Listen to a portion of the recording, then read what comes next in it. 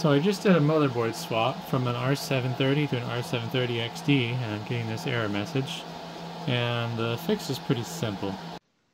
So what you will need to do is log into your iDRAC console on a PC and you'll need to go down to storage and then enclosures and then under enclosures you'll go to setup and I've already fixed this but um, you need to change the backplane configuration.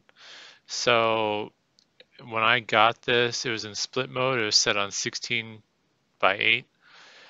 And what I need to do is set it to unified mode. And then you click apply. It can be a little finicky. Generally, um, I think what you'll need to do is get past that error screen uh, by hitting F1 so it'll continue booting and then you'll apply the settings and then reboot.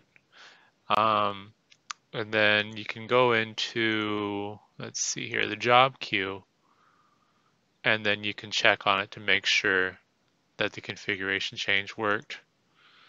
But uh, yeah, pretty simple fix. I will leave links to the Dell forum page that I found the solution on, along with the Dell documentation that explains how things work. But basically, depending on your setup, uh, whoops, not that.